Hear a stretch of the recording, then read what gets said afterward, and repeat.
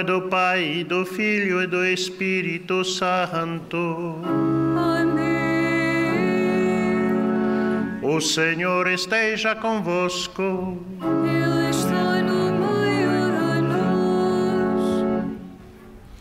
Caros peregrinos, irmãs, irmãos em Jesus Cristo, sejam bem-vindos a esse encontro com Maria e com Jesus Eucarístico. Nossa religião é eh, cristocêntrica. Isso quer dizer que o Jesus Cristo sempre no primeiro lugar. E Maria é que nos o indica. Ela que trouxe e ela que, que diz que Ele está no meio de nós. E nos pede que escutemos a sua voz. Pois, celebrando essa missa, estamos para adorá-lo e escutar a sua voz. Para participar então dignamente nestes santos mistérios, peçamos perdão por nossos pecados. Estão conosco dois grupos, grupo de Braga e grupo de Porto. Confessemos os nossos pecados. Confesso a Deus Todo-Poderoso e a vós, irmãos, que pequei muitas vezes por pensamentos e palavras, atos e omissões, por minha culpa, minha tão grande culpa. E peço à Virgem Maria, aos anjos e santos, e a vós, irmãos, que rogueis por mim a Deus nosso Senhor. Deus Todo-Poderoso, tenha compaixão de nós, perdoe os nossos pecados e nos conduza à vida eterna.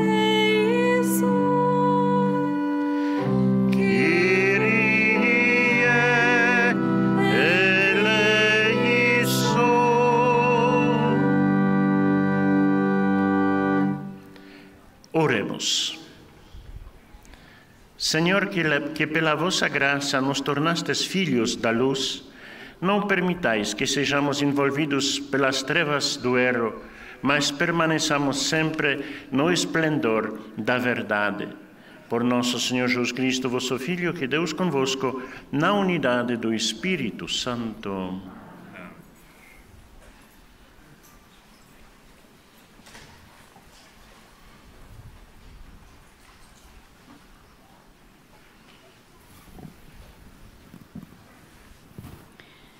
Leitura do livro do Gênesis. Abraão tinha cem anos quando lhe nasceu seu filho Isaque. O menino cresceu e foi desmamado. No dia em que Isaque foi desmamado, Abraão deu uma grande festa. Sara notou que o filho dado a Abraão pela egípcia, Agar, brincava com o seu filho Isaque e disse a Abraão: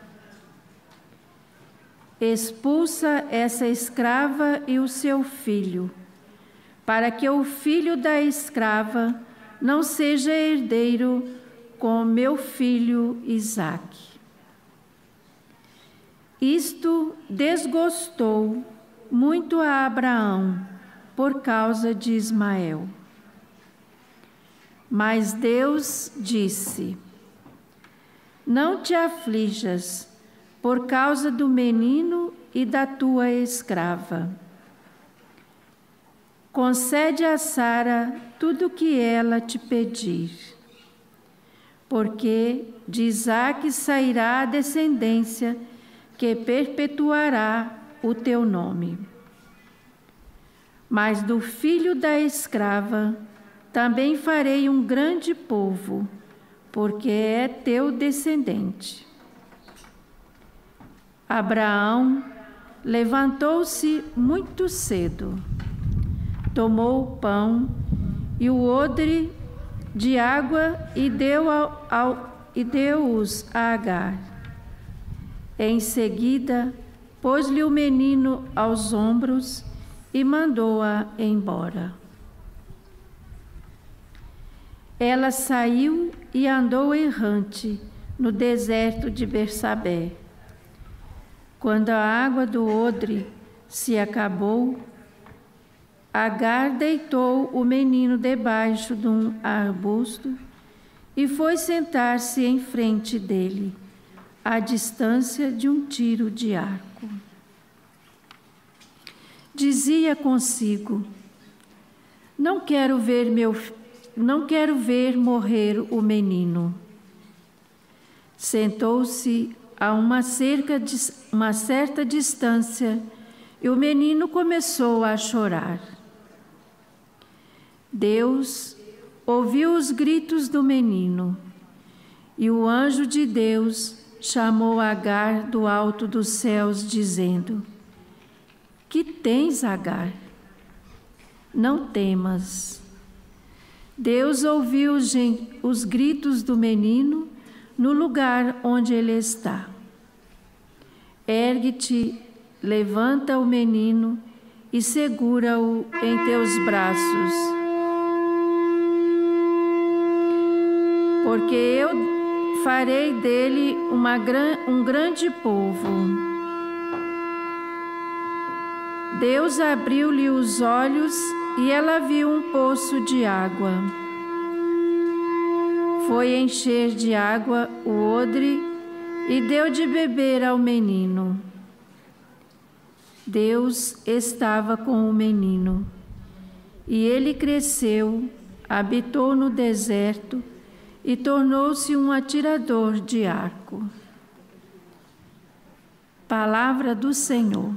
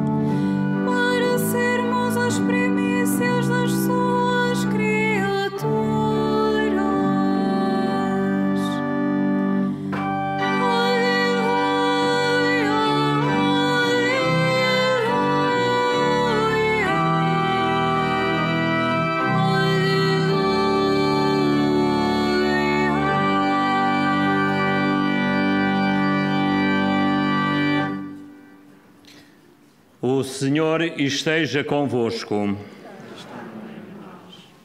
Evangelho de Nosso Senhor Jesus Cristo, segundo São Mateus.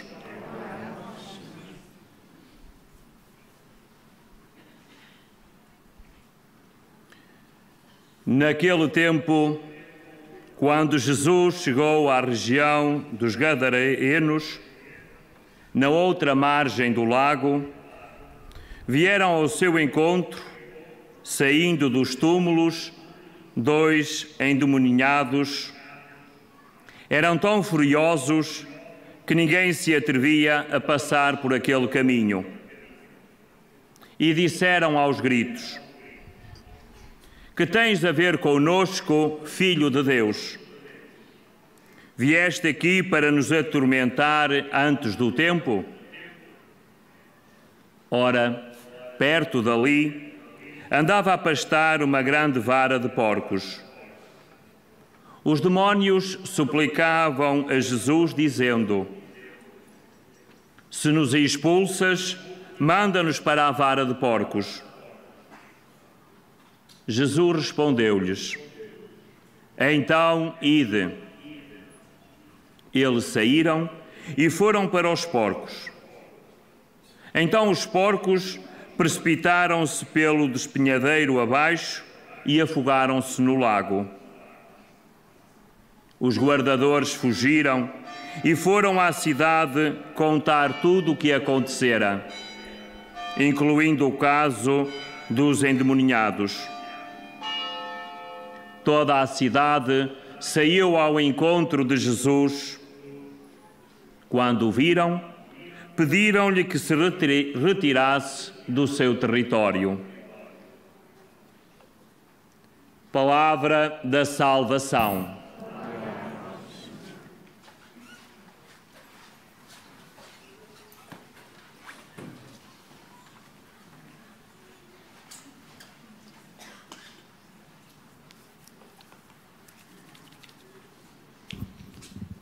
Estimados peregrinos, irmãs, irmãos em Jesus Cristo,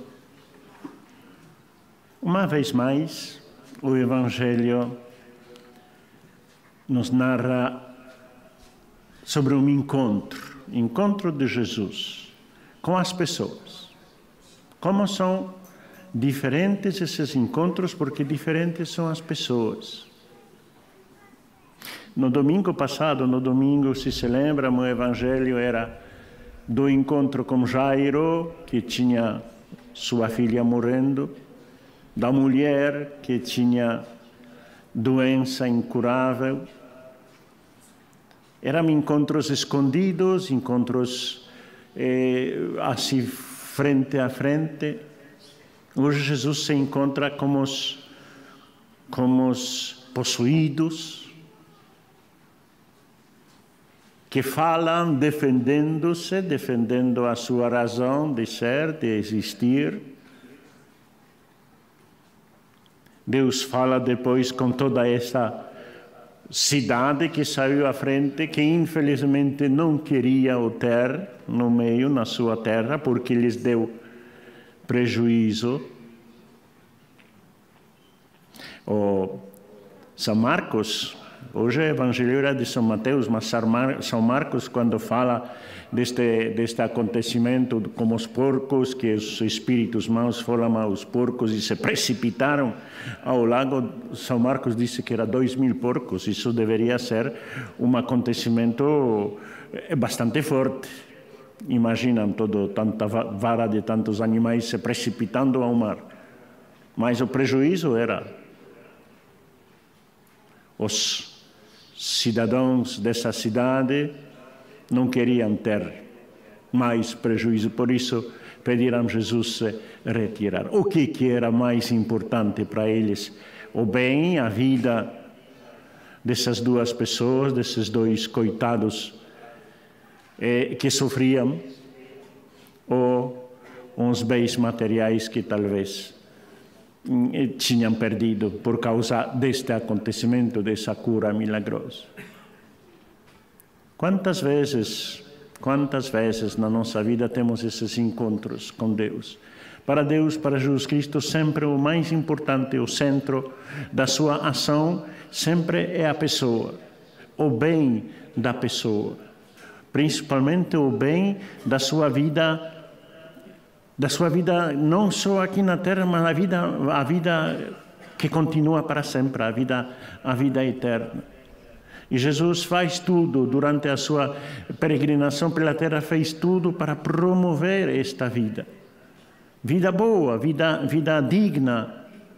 Ele, em cada encontro, deixava ou curava aqueles que estavam em situação difícil, ou alguma forma ajeitava-lhes a vida, melhorava a sua condição social, ajudava na união entre as pessoas, protegia, até devolvia a vida aos que morreram. E isso continua hoje também. Qual é a nossa resposta a essa ação de Jesus Cristo? Sempre estamos a favor da vida em todos os sentidos. Sempre estamos a favor da pessoa e não das coisas. Sempre estamos a favor do bem, do bem comum, do bem, do bem de todos, porque se todos estão bem, nós também. Ou só preferimos os interesses nossos particulares separados? São as perguntas que resposta devemos dar nós, pessoalmente.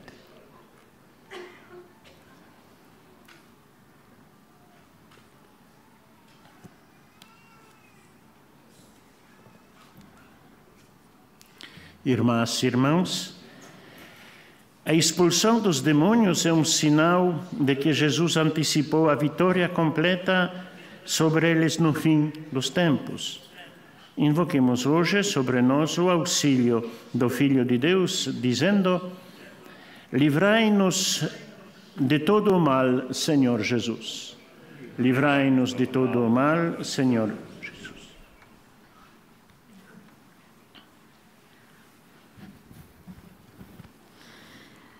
Senhor Jesus, vencedor do inimigo, livrai a vossa igreja das ciladas do demônio. Libertai do seu poder os fiéis que por vós clamam e ensinai-os a expulsá-lo pela força da oração. Livrai-nos de todo o mal, Senhor Jesus. Senhor Jesus, vencedor de Satanás, Levantai com, os, com o vosso braço os cristãos que ele fez cair. Ajudai-os a ser fortes e a fugir da tentação, e restituí-lhes a vida que o maligno lhe tirou. Livrai-nos de todo o mal, Senhor Jesus.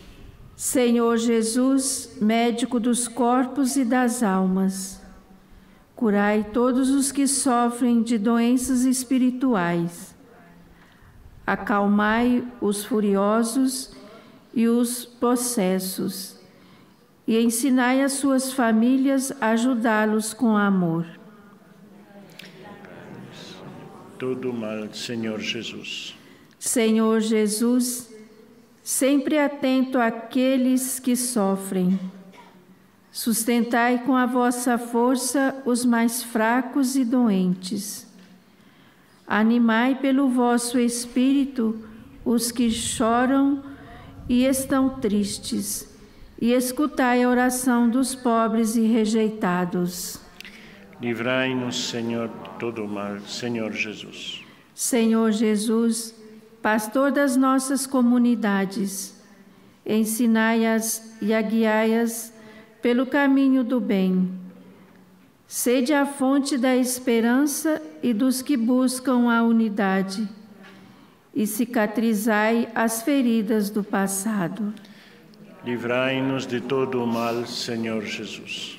Para que o Senhor ponha fim à pandemia que nos atinge e por todos os nossos irmãos que no nosso país e pelo mundo afora sofrem as suas consequências, pelos doentes e os que deles cuidam, e pelas famílias em dificuldades, para que a Mãe do Senhor os ajude e conforte, como fez com os santos pastorinhos. Oremos ao Senhor. Livrai-nos de todo o mal, Senhor Jesus. Escutai, Senhor Jesus, as nossas súplicas, não deixeis que nos afastemos de vós e ficai sempre conosco. Vós que sois Deus como Pai, na unidade do Espírito Santo. Bendito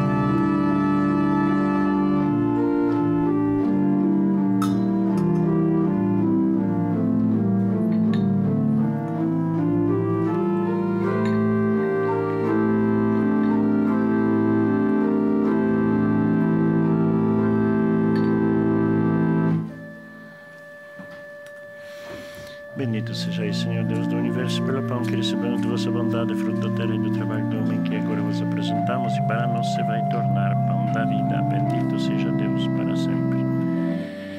Bendito sejais, Senhor Deus do universo, pelo vinho que recebemos de vossa bondade, fruto da videira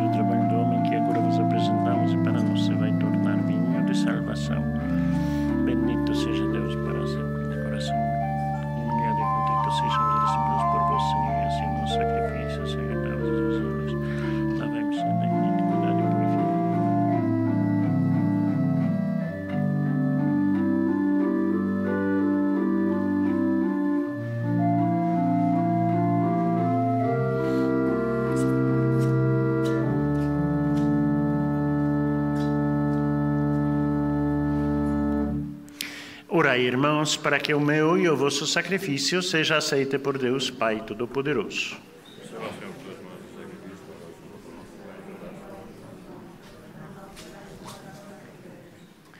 Senhor nosso Deus, que assegurais a eficácia dos vossos sacramentos, fazei que este serviço divino seja digno dos mistérios que celebramos. Por nosso Senhor Jesus Cristo, vosso Filho, que Deus convosco, na unidade do Espírito Santo. O Senhor esteja convosco. Ele está no meio de nós. Corações ao alto. O nosso coração está em Deus. Demos graças ao Senhor nosso Deus. É nosso dever,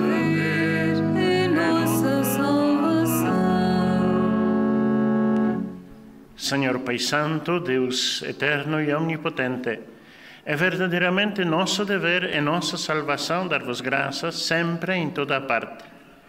Por amor criastes o homem, embora justamente condenado, a vossa misericórdia, na vossa miseri- misericórdia o salvastes.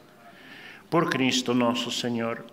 Por ele, numa só voz, os anjos e os arcanjos e todos os coros celestes proclamam alegremente a vossa glória. Permite que nos associemos a suas vozes, cantando humildemente o vosso louvor.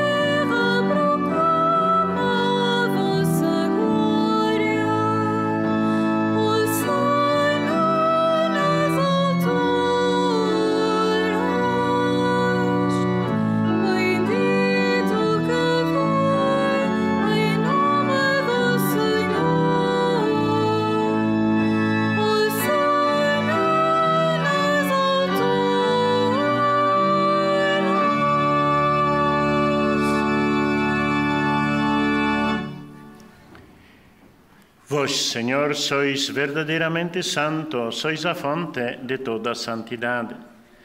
Santificai esses dons, derramando sobre eles o vosso Espírito, de modo que se convertam para nós no corpo e sangue de nosso Senhor Jesus Cristo. Na hora em que ele se entregava para voluntariamente sofrer a morte, tomou o pão e, dando graças, partiu-o e deu a seus discípulos, dizendo: Tomai todos e comei. Isto é o meu corpo que será entregue por vós.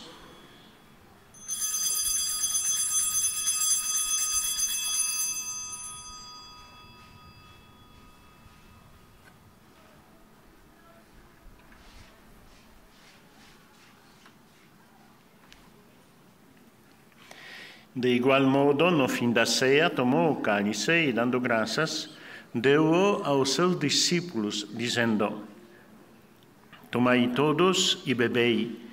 Este é o cálice do meu sangue, o sangue da nova e eterna aliança, que será derramado por vós e por todos para a remissão dos pecados. Fazei isto em memória de mim.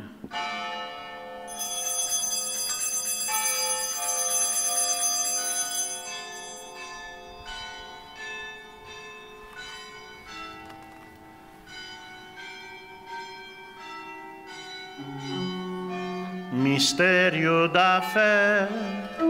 Anunciamos, Senhor, a vossa morte, proclamamos a vossa ressurreição.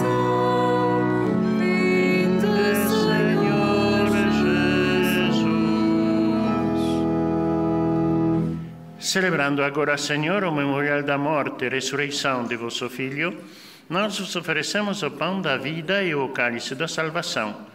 E vos damos graças porque nos admitistes a vossa presença para vos servir nestes santos mistérios.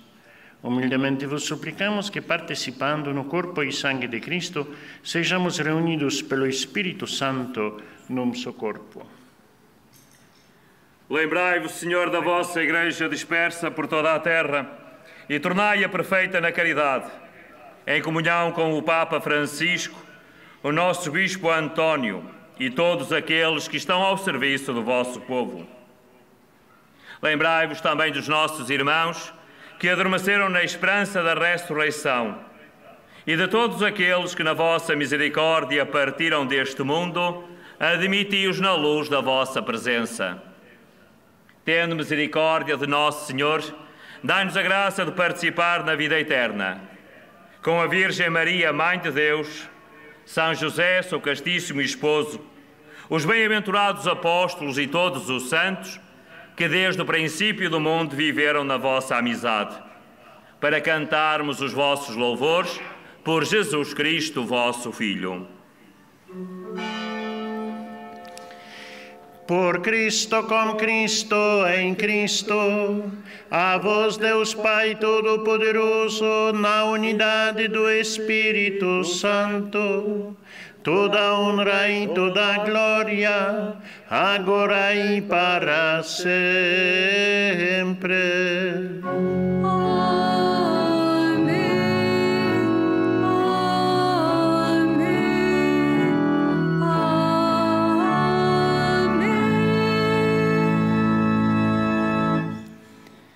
Fiéis aos ensinamentos do Salvador, ousamos dizer: Pai nosso que estais nos céus, santificado seja o vosso nome. Venha a nós o vosso reino. Seja feita a vossa vontade, assim na terra como no céu. O pão nosso de cada dia nos dai hoje. Perdoai-nos as nossas ofensas, assim como nós perdoamos a quem nos tem ofendido. E não nos deixeis cair em tentação, mas livrai-nos do mal. Livrai-nos de todo o mal, Senhor, e dai ao mundo a paz em nossos dias, para que, ajudados pela vossa misericórdia, sejamos sempre livres do pecado e de toda a perturbação, enquanto esperamos a vinda gloriosa de Jesus Cristo, nosso Salvador. Vosso reino, poder e a glória para sempre. Senhor Jesus Cristo, que dissestes aos vossos apóstolos: Deixo-vos a paz, dou-vos a minha paz. Não olheis aos nossos pecados, mas à fé da vossa Igreja, e dai-lhe a união e a paz, segundo a vossa vontade. Vós que sois Deus como Pai, na unidade do Espírito Santo. Amém. A paz do Senhor esteja sempre convosco. O amor de Cristo nos uniu.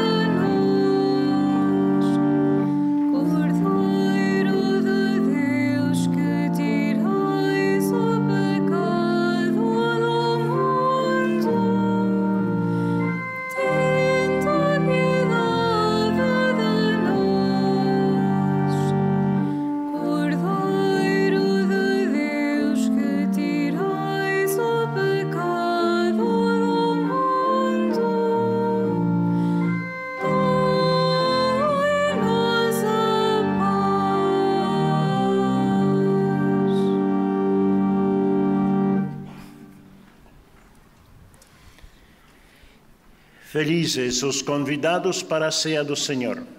Eis o Cordeiro de Deus que tira o pecado do mundo. Senhor, não sou digno que entreis em minha morada, mas dizei uma palavra e eu serei salvo. O corpo de Cristo. Amém.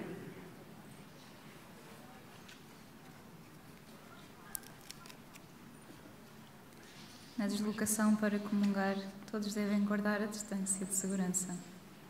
A Sagrada Comunhão será distribuída na mão.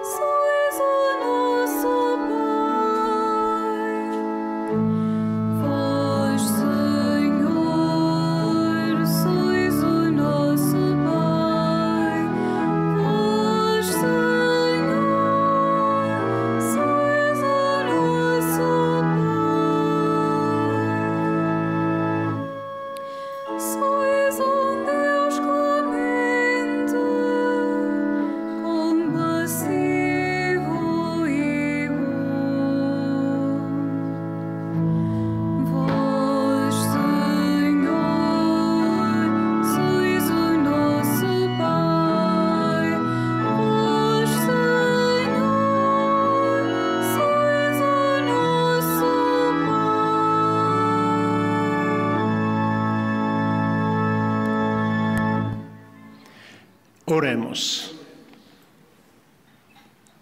Concedei-nos, Senhor, que o corpo e o sangue do vosso Filho, oferecidos em sacrifício e recebidos em comunhão, nos deem a verdadeira vida, para que, unidos convosco em amor eterno, demos frutos que permaneçam para sempre.